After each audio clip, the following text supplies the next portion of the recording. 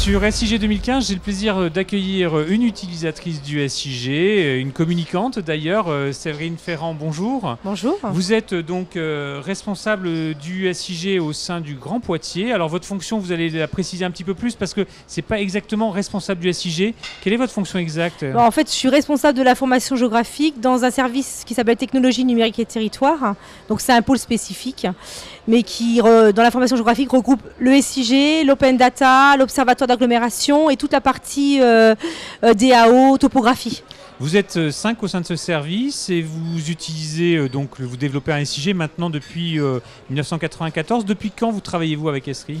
Bah, Ça fait maintenant 4 ans qu'on travaille avec Esri suite à un dialogue compétitif où on a changé de, de solution. voilà, ça faisait plus de 15 ans qu'on était avec la même solution.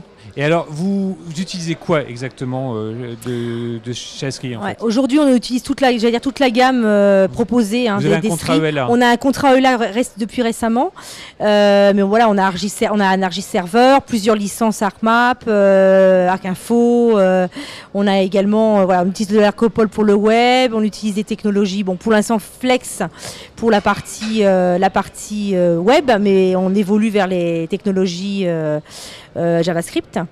Et puis euh, voilà, on, utilise aussi des, fonctionnalités 3D, euh, des outils proposés, enfin divers, divers outils de. On explore, j'allais dire, un peu le panel de, des outils proposés par Esri. Et, sur quoi vous travaillez plus spécifiquement à l'heure actuelle? Plutôt donc le, développement web les applications ah oui, on est de plus en plus sur le développement web, hein, c'est clair, parce que là, on a très, de moins en moins, j'allais dire, d'utilisateurs, j'allais dire, d'utilisateurs du CG vraiment lourds.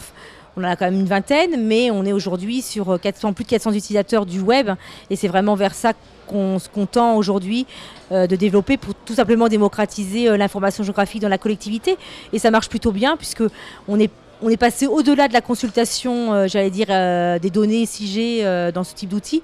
On est vraiment dans, dans, des, dans de l'édition, de la mise à jour des données, de la participation vraiment des différents services à la contribution du SIG là-dessus. Des besoins donc qui sont émis directement par les services qui viennent vous voir en disant bah tiens j'aimerais bien que vous me développiez en fait cette solution euh, géographique laquelle par exemple vous pouvez me citer les derniers exemples de vos travaux? Bah, Là actuellement on a on a développé une, application pour répondre euh, à la gestion des arrêtés et en, lien avec les récollements. Mhm. C'est euh, tout simplement dans, en lien avec la, réforme des TDICT hein, pour euh, pouvoir euh, caler tout ça.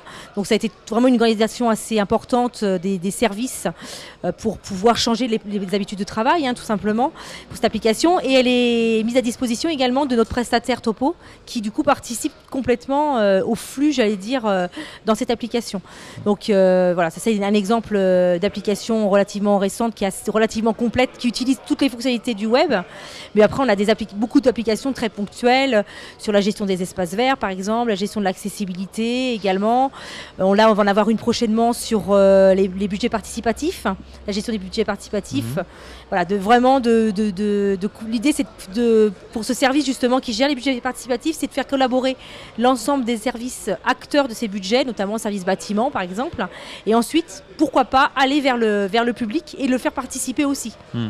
On est euh, vraiment dans cette aujourd'hui. Est-ce que euh, la mobilité, c'est quelque chose, euh, un sujet, une thématique qui vous est chère et que vous développez au sein du Grand Poitiers? Oui, alors c'est aussi quelque chose d'assez, récent également. On, a, on dispose d'un filaire de voix et d'une une base de données adresse depuis longtemps sur Poitiers.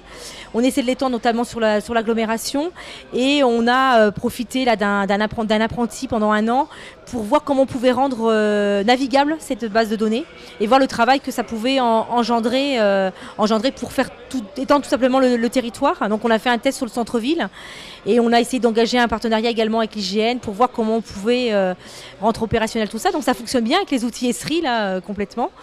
Et donc on est content du résultat. Maintenant, il faut qu'on voit comment on organise la suite. Parce que là, euh, on n'a pas toutes les cartes là-dessus, puisqu'il faut que les services puissent s'organiser, tout simplement alimenter ces informations mobilité. Et il y en a souvent un peu partout dans les services. Quoi. Alors à propos d'information, à propos de pédagogie, vous, vous communiquez beaucoup au sein de votre service. Vous avez d'ailleurs euh, monté euh, une exposition itinérante pour démontrer euh, bah, ce que ce qu'était la géomatique et ce qu'on pouvait en faire. Vous pouvez nous en dire un peu plus parce que je crois que vous participez donc vous l'avez monté en, story map hein, pour la présenter ici au concours, mais c'est une exposition, une vraie exposition. Oui, oui, oui. En fait, c'est une exposition donc qu'on a réalisée à l'occasion des 20 ans l'année dernière du, du SIG. Donc on a voulu que cette exposition soit itinérante pour qu'elle puisse profiter de différents lieux.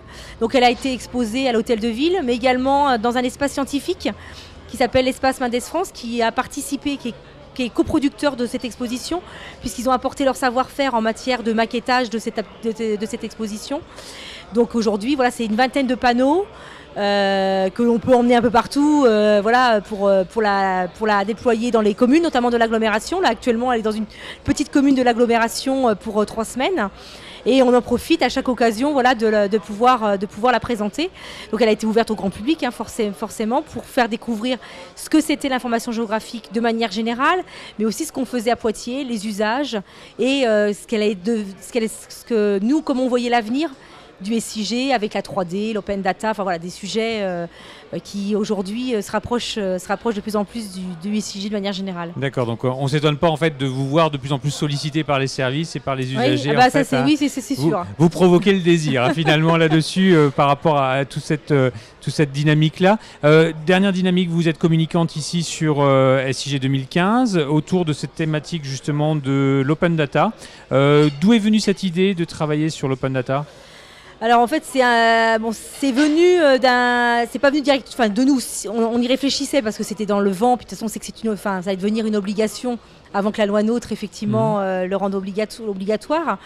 Euh, en, fait, on a eu un mouvement, un mouvement citoyen assez fort sur, sur Poitiers, une quarantaine de citoyens qui avaient interpellé le maire pendant sa campagne sur l'intérêt voilà, d'ouvrir les données publiques.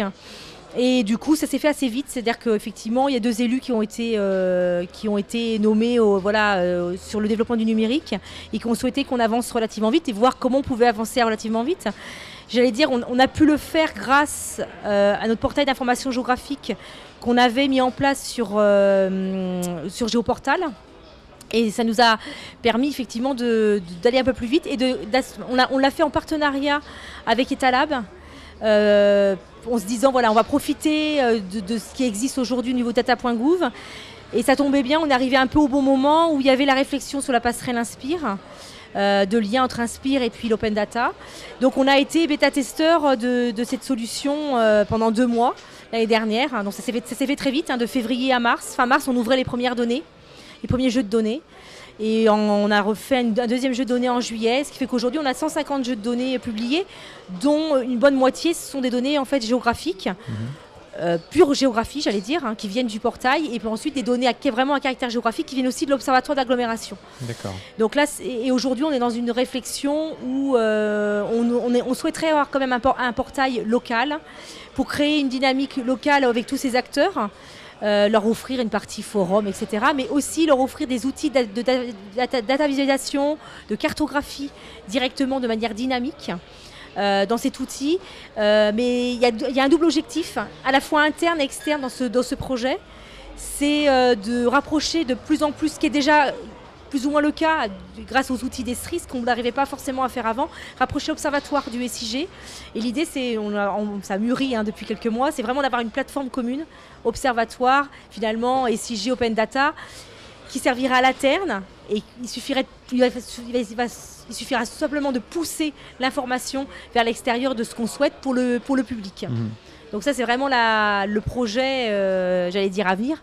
Donc après, on verra qui, qui, euh, candidatera à ce, à ce projet euh, qui normalement devrait euh, très prochainement, euh, d'ici la fin de l'année, D'ici la fin de l'année. D'accord, très bien, on suivra ça. Merci beaucoup Séverine Ferrand de votre présence sur ce plateau et merci, de votre attention. À bientôt sur SIC TV. Au revoir.